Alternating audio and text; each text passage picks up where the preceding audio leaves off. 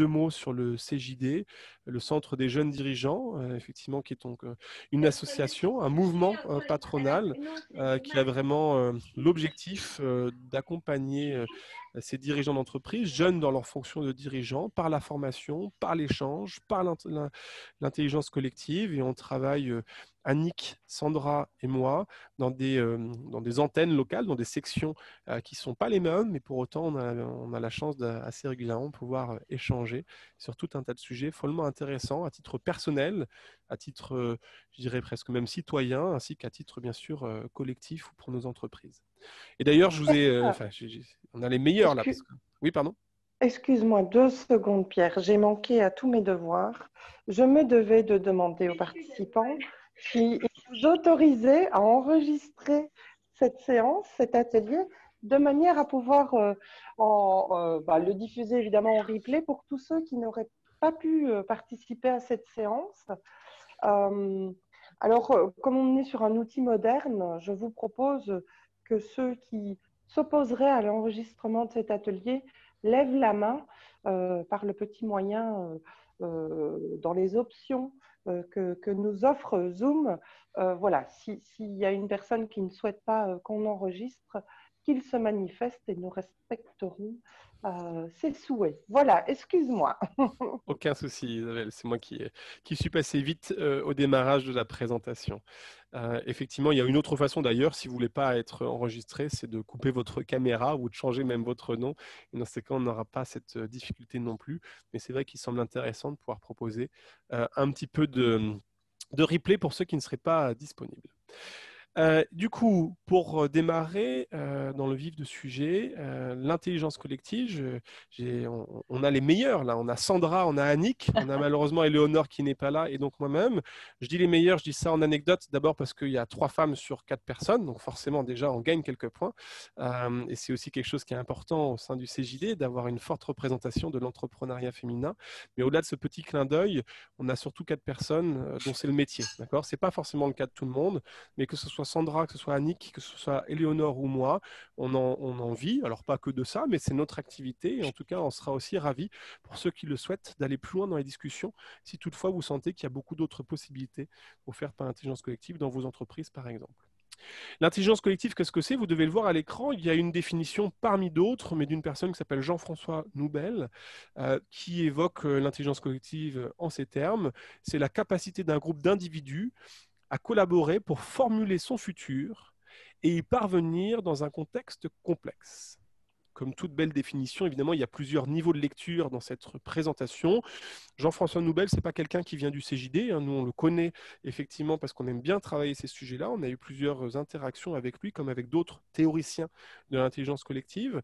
Mais cette présentation-là, assez sommaire, euh, regroupe pas mal des éléments de la philosophie de l'intelligence collective, effectivement, d'avoir plusieurs personnes qui souhaitent travailler ensemble, à la fois pour penser et formuler le futur, mais aussi pour y parvenir. Il y a cette notion d'être acteur euh, dans l'intelligence collective qui est absolument importante, mais il y a cette notion de collaboration qui est absolument essentielle également. Si je dézoome, et vous allez voir que vous allez être à l'aise, j'espère, avec cet exercice-là, dans le partage d'écran, pour l'instant, c'est moi qui le fais, mais pour tout à l'heure, c'est vous qui le ferez directement. Quelques règles d'intelligence collective que je dézoome et que je remontre dans Klaxoon. Euh, écoutez avec attention, on sera effectivement absolument vigilant, Sandra, Annick et moi, quand on animera les sous-groupes, au fait que chacun puisse s'exprimer et que chacun se sente écouté avec attention. C'est absolument important. Et encore une fois, et, Sandra, si tu veux compléter, tu le feras aussi. Mais ces règles-là, ces quelques règles-là, elles semblent basiques, mais c'est celles qui nous permettent également de s'assurer euh, que le travail collaboratif soit efficace parler avec intention, quand on s'exprime, on a une idée euh, spécifique à dire. On a une heure aujourd'hui, mais nos temps dans les entreprises sont toujours un petit peu comptés. Et donc, c'est vrai que quand on est euh, en intelligence collective, en groupe, l'idée, c'est d'avancer, d'être absolument clair sur les intentions. La clarification de l'intention, c'est le tableau que vous voyez euh, en plus de la petite, des petits pictogrammes. La clarification de l'intention est absolument importante quand il s'agit de parler, mais aussi quand il s'agit de se réunir. Pourquoi on se réunit? On aura réussi notre temps d'échange on a atteint quels objectifs, par exemple. On les a énoncés, en l'occurrence, pour notre heure aujourd'hui, des lundis euh, de l'UN. Et puis être bienveillant, là également, ça suppose, au-delà du mot qui est un peu servi à toutes les sauces parfois, la bienveillance, au-delà de ce mot-là, c'est juste de dire que on a envie, on souhaite être en soutien, on souhaite être en relais, on souhaite aussi écouter toutes les idées, même celles qui nous paraissent les plus éloignées de ses propres opinions. Et ça, il y a une façon de le traduire effectivement par la bienveillance pour s'assurer effectivement, surtout quand on va être dans des phases d'intelligence collective autour de la de l'idéation, du brainstorming, bah, que toutes les idées se permettent d'être exprimées. Ça suppose donc de les écouter et les accueillir avec bienveillance. Se faire confiance, là, ça suppose aussi autre chose. Dans certains outils, certaines méthodes de l'intelligence collective, parfois, on peut aller sur des sujets plus confidentiels. Hum, et à ce titre-là, il est intéressant aussi que le groupe puisse se faire confiance sur euh, ce qui ressortira et aussi ce qui ne ressortirait pas potentiellement euh, d'un groupe de travail. Et enfin, respecter le cadre. Ce cadre-là, souvent, on se trompe pour ceux qui ont déjà un petit peu euh, appréhendé l'intelligence collective, qui en ont un premier abord. On se dit, bah, en fait, on peut tout, et, tout faire et, son contraire. Alors ça, c'est n'est pas faux, mais il y a toujours un cadre. Ce cadre, il est très large, extrêmement large, mais euh, dans ce cadre large, l'idée, c'est de pouvoir évoluer avec, effectivement, créativité, implication, engagement et aller sur des actions concrètes, par exemple. Mais il y a quand même un cadre général, sinon, euh, sinon on part vraiment, vraiment dans tous les sens et on n'arrivera pas à en tirer mmh. l'essence. Donc voilà les quelques règles de l'intelligence collective qu'on voulait vous présenter rapidement. Si je continue sur les explications d'intelligence collective, et pour zoomer sur un autre endroit de ce tableau blanc virtuel Klaxoon, on peut le résumer aussi d'une autre façon. Il faut une assemblée, Aujourd'hui, l'Assemblée, ce sont des dirigeants d'entreprises basés en Normandie et qui euh, devaient normalement se voir au sein de l'Université des entrepreneurs normands, qu'on crée de manière digitale ce soir. C'est une intention, on l'évoquait à l'instant. Là, l'intention, c'est de découvrir quelques bases de l'intelligence collective et du coup de l'outil Klaxoon, parce qu'on est en distanciel. C'est une méthode. Aujourd'hui, on a pris un peu de liberté avec la méthode, puisqu'on a un temps qui, euh, qui est assez euh, court, jusqu'à 19h, jusqu'à 20h, pardon. Et donc, du coup, on va juste vous parler de quelques méthodes, mais il y en a plein. Il y a le double diamant, il y a les six chapeaux de Bono, les six chapeaux de la réflexion, il y a le co-développement, le codev. Peut-être que vous en avez déjà entendu parler de certaines. Il y en a d'autres, hein, il y en a beaucoup d'autres. Euh, et nous, c'est ce qu'on aime expérimenter aussi euh, au sein du CJD. Et aujourd'hui, on n'aura pas le temps d'aller dans l'une de ces méthodes dans le détail. Ça, il faudra le découvrir avec un temps qui sera plus long. Euh, mais on va vous en vous en donner la philosophie un facilitateur. Aujourd'hui, vous en avez même trois pour le prix d'un. Annick, Sandra et Pierre. Merci pour l'introduction, euh, Isabelle, tout à l'heure. Et enfin, des rôles, à déléguer, des rôles délégués. Euh, le facilitateur qu'on vient d'évoquer à l'instant. Mais on a également d'autres rôles, gardien du temps, pouce décision, scribe et coach de séance, euh, qu'on appelle des fois aussi observateur. Mais on va y revenir sur ces rôles délégués, parce que c'est ce qu'on va essayer de toucher un petit peu du doigt. Pour finir ou presque sur ces explications, effectivement, pour que vous compreniez bien comment ça peut fonctionner et après qu'on puisse expérimenter entre nous, ces rôles-là euh, sur lesquels on zoome rapidement du facilitateur, encore une fois, c'est nous qui le faisons aujourd'hui, c'est davantage d'organiser, d'animer le temps d'échange, d'animer les débats quand il y en a et de s'assurer que le temps de parole soit équilibré, que chacun soit écouté.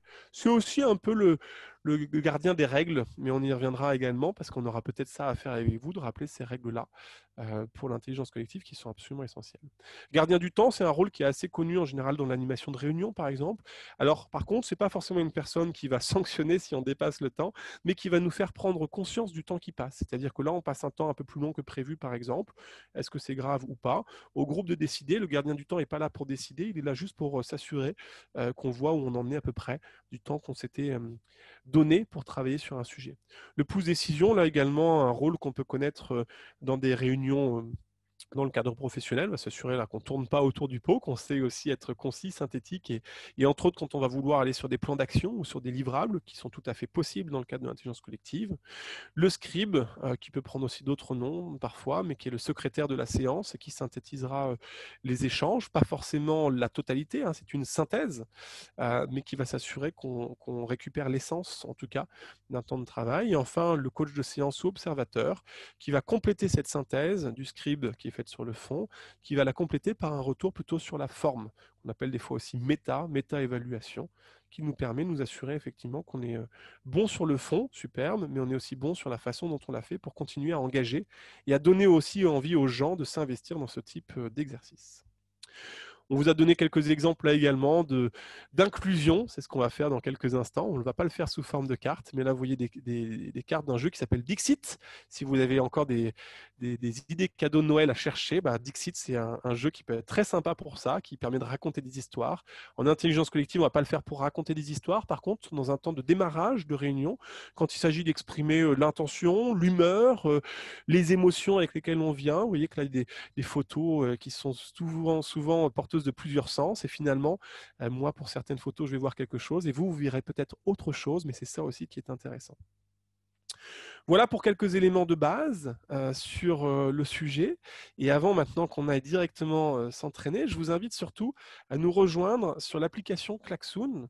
je vous ai mis le lien du coup dans le chat de Zoom. dans ce chat de Zoom, vous voyez qu'il y a un https app Klaxoon, etc. Je vous invite à cliquer dessus il va vous demander du coup de me rejoindre sur le tableau blanc que je partageais à l'écran.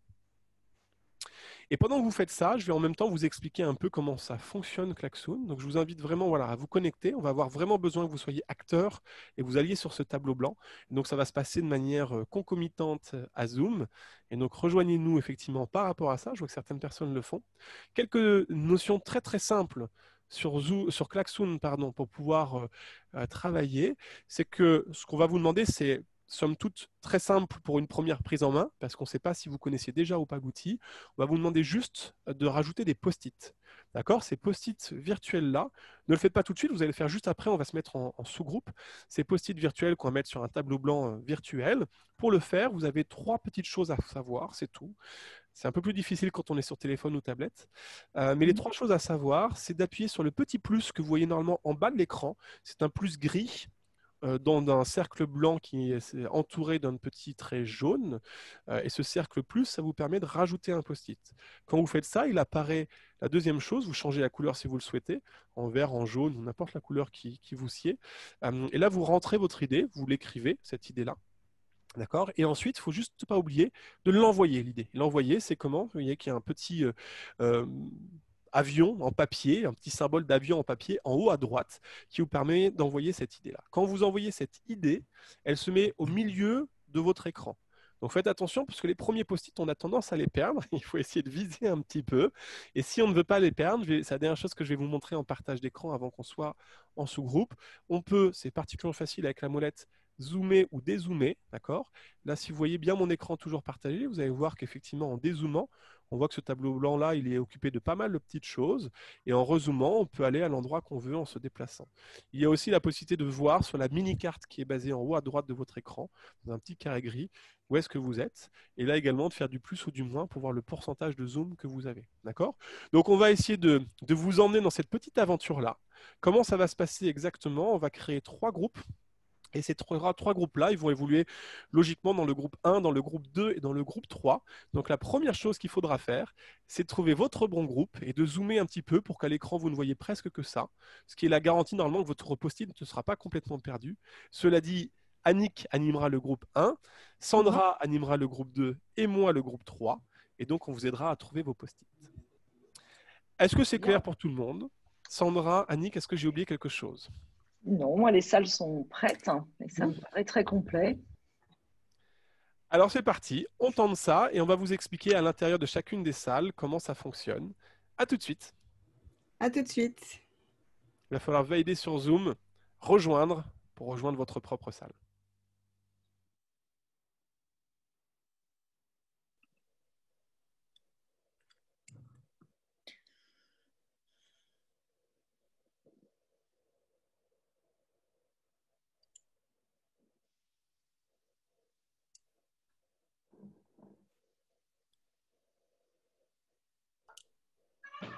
Alors, est-ce que c'est Pierre euh, qui va reprendre euh, la main au niveau euh, de l'animation?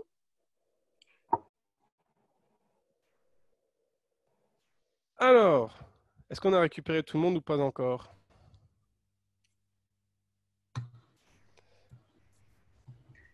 Bientôt.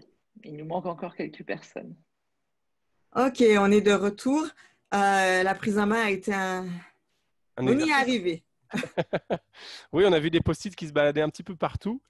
Évidemment, quand on fait l'intelligence classique, intelligence collective classique, on n'a pas forcément besoin de faire ça. On a des grands tableaux blancs, on a des vrais post-it. On n'a pas besoin de se perdre. Je vois Séverine, du coup, on a vu tous vos post-it se balader, Séverine. Hein. C'était, on, les, on les appelait des post-it blancs d'ailleurs. On les a vus se balader. Euh, mais je vous félicite d'avoir euh, le courage d'essayer. Une fois qu'on a dépassé cette première prise en main, normalement, ce n'est pas euh, excessivement compliqué.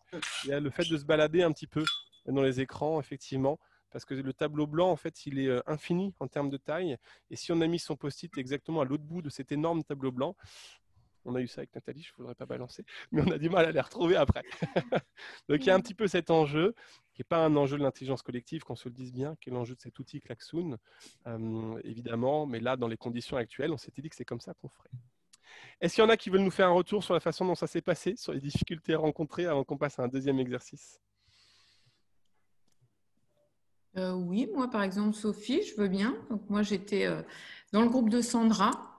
Euh, donc ben, la synthèse de tout ça, c'est que c'est qu'en fait, pour certaines d'entre nous, parce qu'on n'était que des femmes, il y, a, il y, a, pu avoir un petit moment de solitude au tout début, parce qu'on s'est dit oh là là, on plonge dans un outil qu'on ne connaît pas, il faut mettre une photo, il faut mettre son nom, il faut se déplacer. Mais finalement, ce moment-là, finalement, il s'est vite dissipé puisque le logiciel, bah, finalement, il est euh, très intuitif. Et euh, bah, finalement, tout le monde a pu, euh, de façon très rapide, faire ce qu'il avait à faire. Qu'on s'est retrouvé assez vite en collectif, on a parlé même de sous-collectif, en petits groupes, entre femmes. Euh, donc finalement, on s'est toutes retrouvées relativement à l'aise. Euh, la prise de parole, elle a été relativement simple et rapide. Et on a, on a trouvé que finalement, euh, ben, on ne se connaissait pas il y a une demi-heure et on ne savait pas qu'on allait se retrouver là. Et que ben, tout le monde finalement se retrouvait tout le monde s'est présenté de façon authentique et loyale. Et au final, ben, on a beau être à distance, il y avait une certaine proximité, même si ça a été très court et très rapide. Bah, merci pour euh, ce retour complet. Sophie, est-ce qu'il y a d'autres personnes qui ont des choses à rajouter à ce retour complet? Un des points qui est important, et si ça vous va, du coup, on va, on va continuer à, s'exercer. Encore une fois, là, on est parti sur l'outil Klaxoon, mais on pourrait le faire euh, dans une salle. Ça serait sûrement encore euh, plus l'intérêt que vous évoquiez là, Sophie, hein, de rapidement se rencontrer et d'échanger. L'intelligence collective, et c'est ça qu'on va essayer d'expérimenter, c'est aussi un, moyen absolument euh, démentiel pour faire de l'idéation, du brainstorming. Donc là, on a un temps que vous comprendrez qui va être extrêmement court parce qu'on n'avait pas l'objectif d'avoir un, moment trop long ce soir euh, sur ce sujet de l'intelligence collective. Donc ce sera plutôt à titre d'exercice, d'accord? Mais on va passer, dans ces cas-là, on va recréer des groupes. Peut-être, Sandra, si ça ne met pas trop le bazar, on peut-être faire seulement deux groupes parce qu'on est moins nombreux que prévu. Et ça sera du coup un peu plus riche aussi dans les échanges, si ça met pas trop, euh, ça désorganise pas trop la, répartition au sein des groupes. on va aller sur un deuxième endroit du coup, je vous invite euh, dans, dans Klaxoon à vous rendre un peu en dessous. Je vais vous forcer dans un premier temps la vue sur un groupe 1 et un groupe 2 qui sont exactement la même chose. Il faudra zoomer dans le vôtre par la suite. On va essayer de réfléchir ensemble à des actions concrètes pour la planète des actions concrètes pour la planète. En 20 minutes, on n'aura absolument pas le temps de, faire même un brainstorming digne de ce nom sur le sujet. Mais c'est dans l'idée de vous montrer que assez vite, on peut avoir du partage de pratiques riches et intéressants. Euh, donc, on a pris un sujet qui nous tient particulièrement à cœur au sein du CJD, euh, la protection de notre planète et puis euh, le rôle qu'on a en tant que citoyen, en tant qu'entreprise, que collectif ou en tant que dirigeant d'entreprise, parce qu'on est dans le cadre de l'UN, que ce qu'on peut faire. Donc on va vous demander là également de suivre, on va le faire en deux groupes seulement, mais de suivre euh, étape par étape comment on peut partager euh, des expériences, des pratiques, des bonnes pratiques. Euh, et encore une fois, on sera forcément un peu frustré à la fin de cet exercice parce qu'on aura à peine effleuré un sujet qui est très vaste. Mais pour autant, ça vous permettra, j'espère en tout cas, d'avoir un petit peu euh, réfléchi et, vu les possibilités offertes, les immenses possibilités offertes par l'intelligence collective. Donc, s'il n'y a pas de questions, dans ce cas-là, on va directement en groupe. Je demande quand même auparavant, est-ce que vous êtes tous bien dans le klaxon au bon endroit, c'est-à-dire là où il y a marqué groupe 1 et groupe 2 Est-ce que tout le monde a l'air d'être à peu près là? Ouais, c'est bon? Ouais. Euh, et donc, du coup, vous zoomerez sur votre groupe. Sandra, elle va nous envoyer euh, dans un instant. Est-ce qu'il y a des questions Je peux ouvrir hein, quand vous voulez. Questions, pas questions? C'est bon? Ben, euh, Isabelle, moi, j'y arrive pas.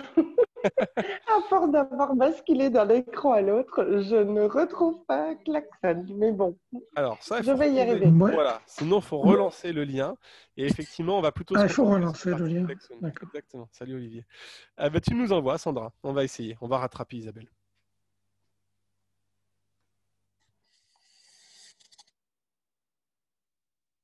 C'était très drôle. Pour l'instant. Félicitations. Non, alors après, voilà, si, si vraiment tu, tu veux, tu. Hein Non, non, il n'y a rien d'obligatoire. Annick, je ne sais pas si vous avez entendu le Ah non, parce que je crois que ça a coupé à ce moment-là. Bon, c'est tout à fait superbe là ce que vous avez préparé. Euh, je, je partage mon écran? Ouais. Hop, hein.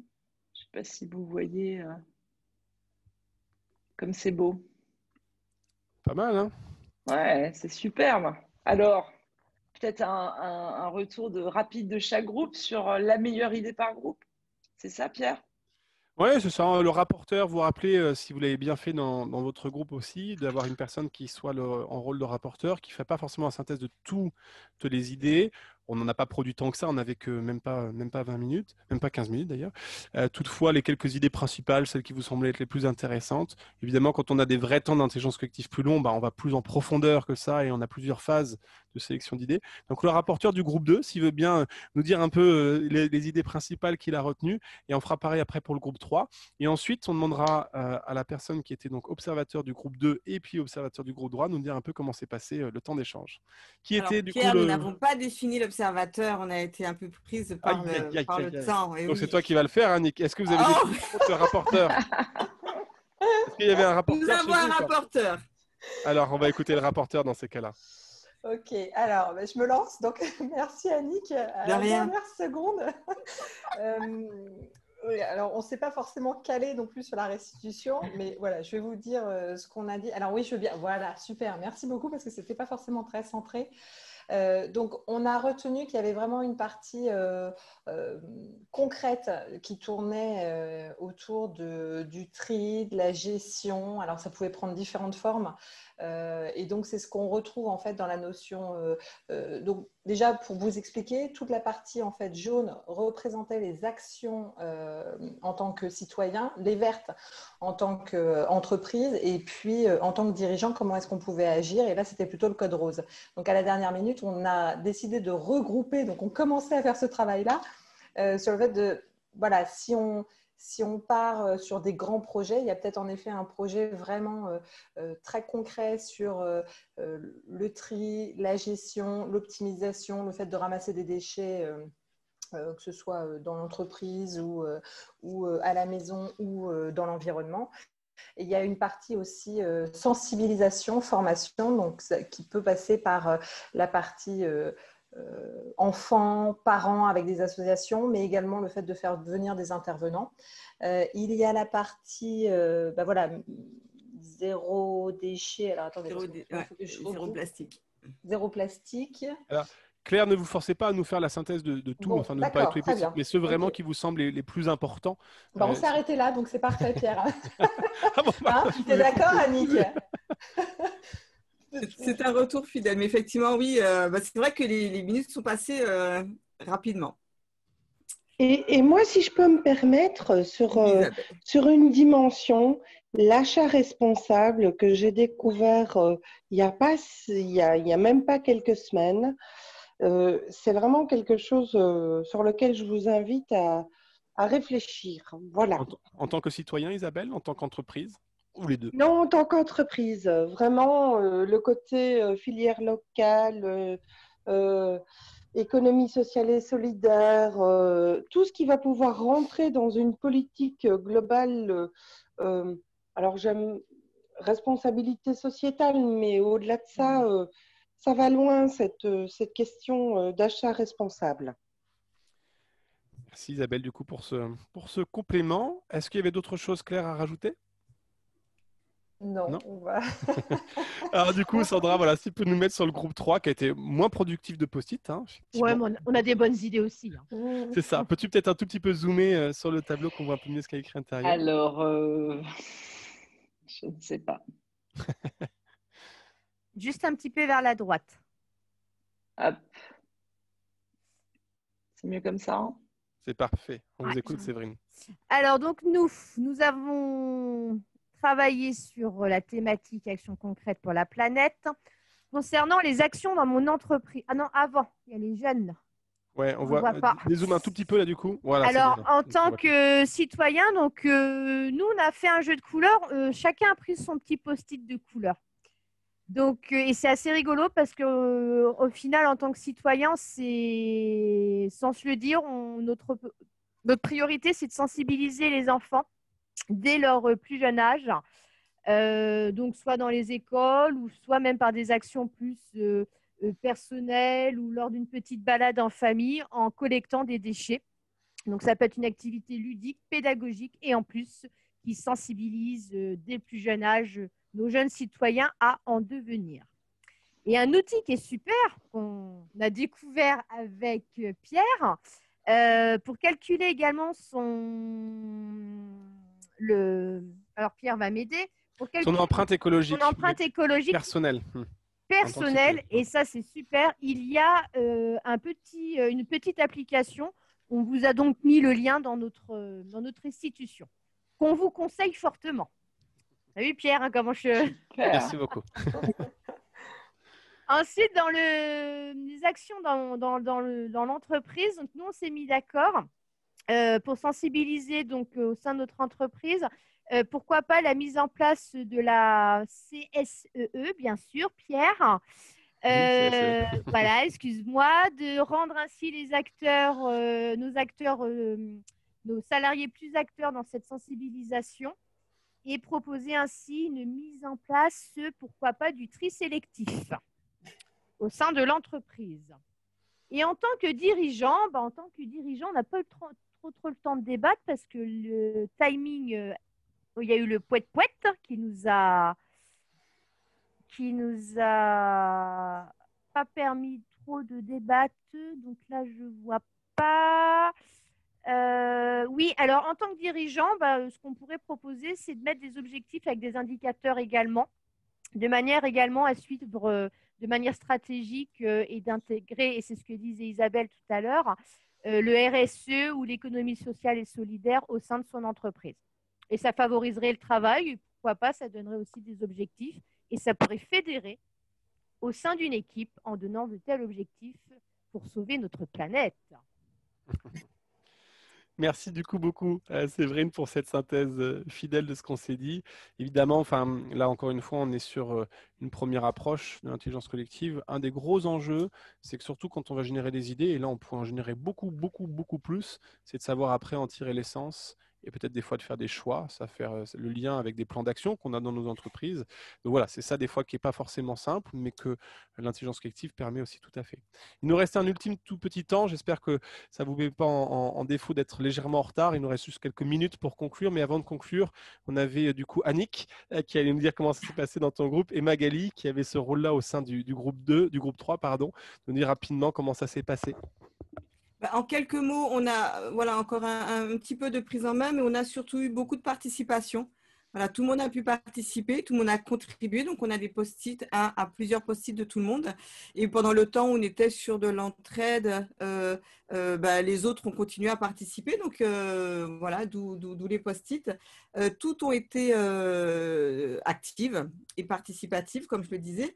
Et puis, dans un second temps, on a eu un, moment de, validation collective du classement. C'est-à-dire qu'on s'est posé la question, OK, on a plusieurs, on a des colonnes, on a des sujets qui, qui, sont, qui apparaissent dans les trois colonnes. Qu'est-ce qu'on fait? OK, bah à ce moment-là, on les rassemble. Et donc, c'est un temps où, effectivement, en intelligence collective, nous avons décidé de regrouper euh, certains sujets qui étaient, euh, étaient communs aux trois, euh, aux trois, aux trois thématiques. Merci beaucoup. Annick et Magali? Du coup, dans le groupe 3, c'est un un peu la même idée. On voit que grâce à ce- cet écran-là, le fait de le faire euh, comme si on était en salle finalement avec les post-it, on a effectivement les trois temps. Quoi. Il y a le premier temps vraiment où le fait d'être tout seul, ça permet quand même, moi j'ai observé que chacun avait vraiment pouvait aller dans son univers et ses, ses idées. Que en fait, dès qu'on voyait les, les post-it des autres, ça nous donne d'autres idées. On se dit, ah ouais, tiens, j'aurais bien dit ça aussi. Et ça permet de réagir et de rebondir et peut-être de créer. On aurait pu avoir une deuxième phase finalement de création de post-it en disant, maintenant que j'ai vu cela, est-ce que j'ai pas d'autres idées?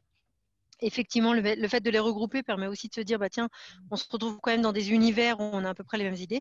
Et moi, j'ai bien aimé l'outil aussi pour liker, là, comme on fait dans, euh, pour dire j'aime, euh, mettre les petits cœurs.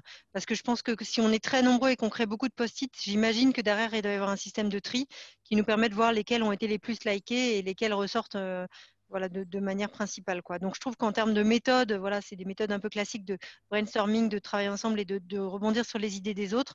Et je pense qu'on a toujours du mal aussi à prioriser et je trouve que cet outil peut nous aider aussi à prioriser derrière.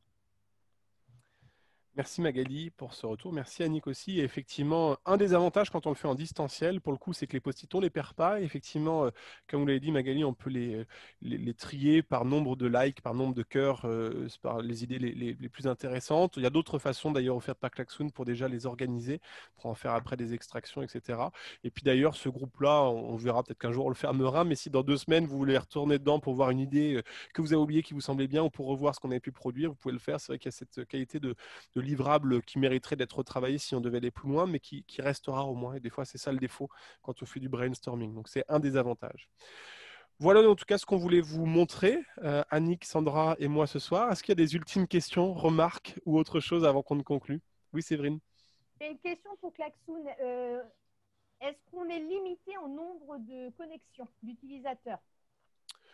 Alors, Klaxoon, c'est une entreprise, je ne sais pas si j'ai évoqué euh, avec le groupe à tout le monde, c'est une entreprise française basée à Rennes, euh, qui, euh, qu'on ne peut plus qualifier de start-up parce qu'elle a déjà beaucoup grossi, et qui du coup propose là, pendant toute la période de confinement et de reconfinement, qui s'étend, qui mmh. s'étend, et du coup qui propose à ce titre-là un abonnement qui est gratuit. Suite à ça, c'est un abonnement qui est professionnel. Quand on est dans la version gratuite, on a beaucoup d'options, mais certaines sont quand même limitées, entre autres le nombre de connexions, mais je crois que ça doit être à 100 ou 120 ou 150 personnes qui se connectent au tableau que vous avez mis. Si vous avez la version professionnelle, il y a sûrement plusieurs niveaux d'abonnement, mais en tout cas, nous, on n'a pas encore vu les limites. Donc là, vous pouvez faire avec beaucoup de monde. D'accord? Par contre, attention, il y a une différence entre le fait d'être animateur, créateur du tableau blanc, ce qu'on a fait Sandra, Annick et moi aujourd'hui, et quand on est euh, utilisateur, où là, pour le coup, on peut inviter autant de monde qu'on veut ou presque.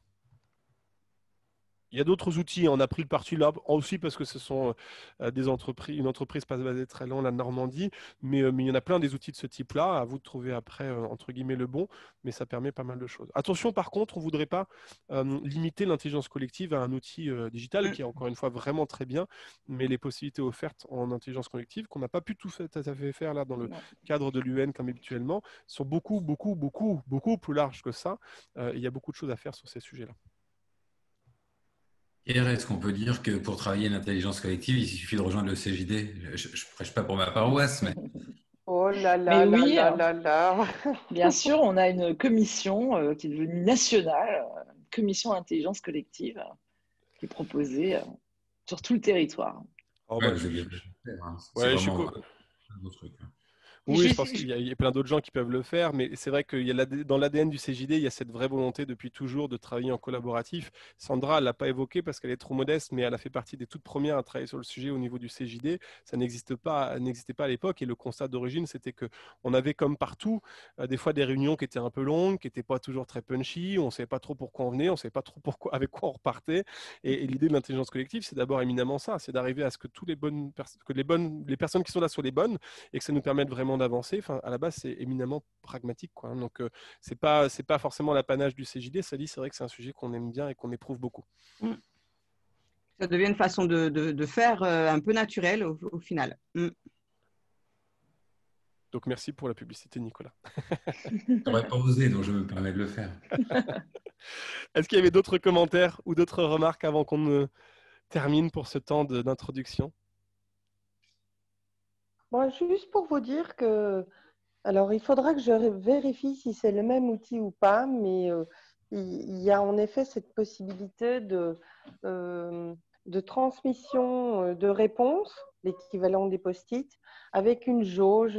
Et comme ça, voilà, c'est très interactif, ça, s'affiche en, classe virtuelle, ce qui remplace le présentiel pour le moment on va dire, à cause de la crise. Mais au final, euh, moi qui étais sur un support euh, euh, téléphonique, bah, au final, je m'en suis quand même pas mal sortie, mais grâce quand même aux animateurs. Donc voilà.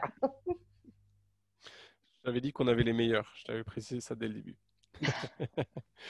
En tout cas, merci pour votre participation. Il y a un côté très agréable quand on fait ce genre d'exercice et ça se voit là sur les sourires à, l'écran. Euh, et puis ça rigole bien. Et puis c'est des moments qui sont aussi plutôt sympathiques. Euh, et donc voilà, c'est ça aussi qu'on va chercher au-delà des idées, au-delà de, tous ces éléments-là, c'est d'avoir un peu de, un peu de légèreté, peut-être des fois pour adresser des sujets plus sérieux. La planète, ma foi, c'est pas un petit sujet, euh, mais que ce soit des sujets sérieux ou des sujets moins sérieux, l'intelligence collective, en tout cas, s'y prête bien. Donc merci vraiment à toutes et à tous, il y avait quand même quelques hommes, mais c'était quand même très féminin ce soir. Et puis on espère vous voir en vrai à l'année prochaine euh, à l'UEN ou dans une autre façon, peut-être pour aller encore un peu plus loin sur l'intelligence collective. Donc merci beaucoup et merci Sandra, merci Annick d'avoir co-animé avec moi. Merci à tous. Merci. merci.